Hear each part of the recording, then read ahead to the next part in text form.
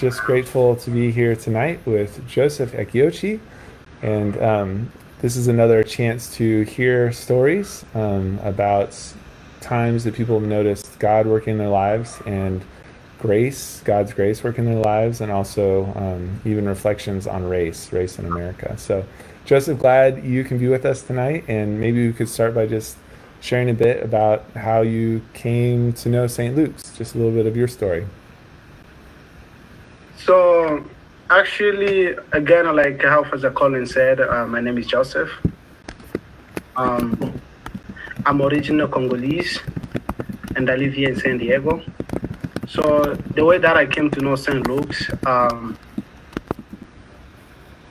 Father Colin, I don't know. Um, I think I got your email. I don't know who gave it to you, my email. I think, didn't I get connected to Jeffrey first? I think you got connected to Jeffrey first, yeah. Yeah. And then I think it through Jeffrey is the one who gave you my email or something like that. Yeah, I think so. Yeah. Yeah. So and that's that's how I got to know St. Luke's. And uh, ever since I started coming to St. Luke's, I've seen St. Luke's as a part of my family right now. Mhm. Oh, thanks, man. Yeah, Joseph's getting married soon. It's very exciting. And can you tell us a little bit more, like how long your family's been here? Um, you, you graduated from Hoover High School. Yes, um, my family been in San Diego for seven years right now, almost eight years. So I graduated from Hoover High School in 2016, and uh, right now I'm attending a community college, trying to get my degree. So, Mhm. yep. Cool. Well, um, I don't know how much time you kind of had to think about this, but um, I can't I can't hear your voice. Oh, sorry. um, I don't know how much time you've had to think about this, but um, do you have a story or two that you could share with us um, that could maybe offer us a little hope as we continue to struggle not only through this continuing pandemic in our country, but now um, a deeper national reckoning with race and kind of our own roles in what has been the oppression of a people for centuries? Um, where have you noticed God working in your life in some of your most troubled moments? Could you give us an example of maybe one of the harder times in your life and where you saw God working in it? Yes. So actually, um, for me, I would say when I come to the state, I didn't speak English. So, and I didn't know how to write, I didn't know how to read. So it was very difficult for me to get to navigate the community, you know, get to know stuff. And um, I think like I was asking God to help me. Um, so I can uh, I can fight this berry, you know, living a place where you don't know the culture, you don't know anybody, you don't know the people, so and you're trying to to um to get to know people, and that was a very difficult, you know, to get connected to people. That was difficult. How, how And, old um, were you? 15, 16 when you came here? No, I came here when I was 17 and a half, 17, almost okay. 18. Yeah. And you did you speak any English when you arrived? No, I never speak English. Wow, Yeah. that is amazing because So, now that's eight years ago, yeah. What? That's it's like- eight years. Eight years ago. Yeah, eight, eight, eight years right now. Wow. Yes, correct. So I never speak English, and I was trying to navigate, get to know the people, get to know the culture, get to get to used to the food, all those stuff. So it was not easy, but I used to pray to God, you know, to help me out. I even uh, remember, like, even coming to the U.S., I stayed in refugee for 15 years, but again, it was not easy. And uh, being a refugee is like is more being in a prison Hmm. Because at least in the prison they can give you food. Um, but in the refugee they can give you a meal for one day or two days, and they'll tell you guys to eat for like for one week. And there is no any anything. There's no internet. There is no there is no voice. So there's no way like you can uh, express your feeling to anybody or to get to know people from outside refugees maybe they can provide you guys some meal but we survived through that You know, God is amazing, and uh, He have worked a lot in my life, Yeah. and I really, really appreciate it.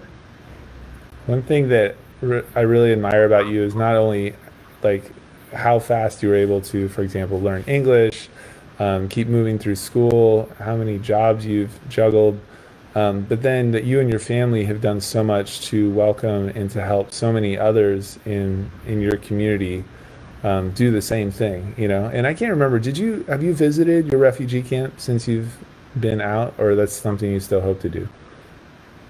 Yes, um, actually, recently, um, last year, I went to Tanzania, and the refugee actually is located there in that country, but um, they refused to give me the visa to go inside. Uh, After they find out I was, I'm original from from that refugee camp because Mhm. they thought maybe I'm a journalist, something like that. But Mm.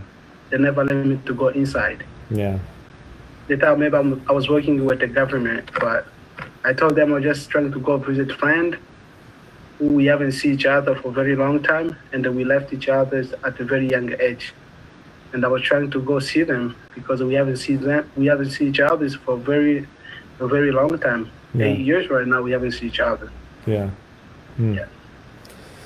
I'm sorry to hear that, but I just love the heart that you have for, you know, caring for others who have who are going through what you've experienced. And I don't know if you still have this dream, but I remember one of the first times we met that you had said that you had a dream of one day um, going back um, to the Congo and starting a business that could help other people too, maybe create some jobs. And I just I love that. Yes, uh, that's something that I'm praying to God to give me the strength. So I cannot do that alone. Mhm. And I always asking God to help me out. So that's part of my my goal, part of my dream is to go back and to give it back, you know. The fact that I came here in these countries, never even imagine if I would come to these countries like in the US, but by God's help, I was able to come in this country, Yeah. and uh, I'm able to gain a lot of resources that I never have a chance to get in the past. Now I'm using them. I'm also learning a lot, and I think there is more to give to the world. Yeah. I just wish I wish there was a way that you could Your voice. Yeah, sorry. I, I wish there was a way that you could um, just be able to focus full time on school, you know, because um, you're able, you're just kind of getting through your bachelor's degree, just maybe two or three classes at a time right now, right? Because you're still working, what, at least 40 hours a week and have been, right? Because you're, you've been helping out your family economically this whole time. And um, Yeah, that's the one of the thing. Um, I don't really, really focus on looking how many hours that I work a week, because if I count it, it's more than 40 hours a week. Because there is people in the community who don't speak English, Yeah. and uh, we have they have to call someone who speak English, someone who look like them, someone someone who they can trust. mhm. And uh, sometimes you don't have a limit. right. So you're getting calls all, yeah, help them. yeah. So it's more than that because sometimes they don't have choice. The fact that I remember when I came here, I didn't have anybody who speak my language, and I was trying to navigate to get someone to help me. I know the feeling Hmm. of need when somebody need help. Do you do you ever think that when you are helping someone, when you answer that phone call, when you are running your tutoring program, um, do you ever does it ever occur to you that you may be um, that others will experience you as being part of God's grace in their lives? That through your loving action, that you are pointing the way to God for others. So honestly, what I can say is um, God gave me the strength because even though like I have a lot of stuff to do, I sometimes ask myself how even I get the time to help these guys because I got a lot of stuff in my plate. But the fact that I'm able to figure it out and the plan and uh, go and support them on what they need, I think that's God support. God is working in me in order to help them out because I don't even know how I'm planning my plans. Yeah. Because I, I got a lot of stuff. Sometimes like I work at night, I, I, I do night shift and people have an appointment. Some people have an appointment like at 8 a.m. and I have to drop them out to, Yeah. the, to the appointment. They gotta see the specialist and sometimes they don't provide them with like transportations Right. and that's uh, difficult for them. But the fact that I'm able to get off work without even being tired and having those strengths and drop them to the hospital, I mean, that means a lot. And I always thank God for that because it is a lot of God is giving to me. It is a lot of God is providing to me in my life. So maybe God's giving you the strength for doing that. Yes, correct. That's cool. So, totally fine if you're not willing, but would you be willing to share just some of your thoughts, feelings um, in these last couple months as our nation has come to a greater um, awareness, or at least paying attention, or more people are finally paying attention to um, the racial oppression and racial injustice that so many have experienced for so long? What what comes to your mind? Like, what have you been thinking or feeling? Um, anything you'd like to share from your own personal experience um, with us? Yes. Um, I remember when I was in high school, I didn't really, pay attention on it that much because I was new to this country and um, I didn't really know what is going on. And they tried to teach us about it. But I used to know it like it's a part of history. It's not happening. But a couple friend um, that I used to hang out with in high school, some of them they got arrested, and they used to tell me about them being arrested, and, I never never take it serious. I thought maybe they just did something, and that's the reason why they got arrested. But I finalize is a, a very serious issue. Um, when I got a job close to the border and they profiled me, I'm from 80. Hmm. Yes. And uh, that's when I start reflecting on it. You know, I used to think it's an issue that like you can just tell someone I don't speak English and then you can get away from that. hmm But it doesn't involve a language at all. But one thing that I can say about that is um, it is it is happening and uh, it is a big issue but we need to welcome god in our hearts and the more we get to know god the more we're going to change um, because god doesn't have race we all equal. And uh, if we understand that like god created all of us and uh, we really welcome God to our heart, I think that is that is not impossible. That's something that I would say about it. Yeah, help us, God. Yeah, I, I appreciate you mentioning, um, you know, in high school, starting to learn more about some of the history of how African Americans have been treated in this country. Um, what is it like to then um, be sort of eight years into the history of this country yourself, but then I assume you have often experienced being sort of put together with others who have had a much longer history and their family members who had a much longer history here. But then others from the outside kind of sort of think you're all sort of the same. Um, does that ever kind of strike you as problematic or complicated? Um, I don't know. Does that make any sense? Or um, Um, part of me being here for eight years, um, the history itself I have everything on it, and uh, and uh, what I think is is very I don't know is we're never gonna change what already happened, Hmm. but we can control our present and our future. mhm. So I do like the fact that people are speaking out about these issues, and I do believe change is coming. It does have to come fast, but the more people speak about it, the more change is gonna come. Because in order to bring change, it doesn't happen overnight. It's gonna take time. You know, it's like seeing God's miracle. You might sit down, you have issues in your family, with your friend, and you're asking God to help you out. But it doesn't happen right away. And I think the more you believe that God is gonna get you away from it, the more is gonna happen in your life. Mhm. Yeah, it's like you being positive Yeah. on what you are doing, and that's what I think. What is happening right now, um, the fact that people are being positive, I believe change is another way. Hmm. It just, I just really appreciate that, and especially given your own story that you have experienced and your family's experienced God's work and grace working out through years and years, right? So not just the eight years since you've been here, but all the years you were in a refugee camp.